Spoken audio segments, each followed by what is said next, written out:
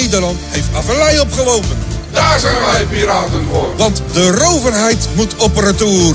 Daar zijn wij piraten voor. Wij gaan te strijden met volle moed. Stem Piratenpartij. Teunus van Es.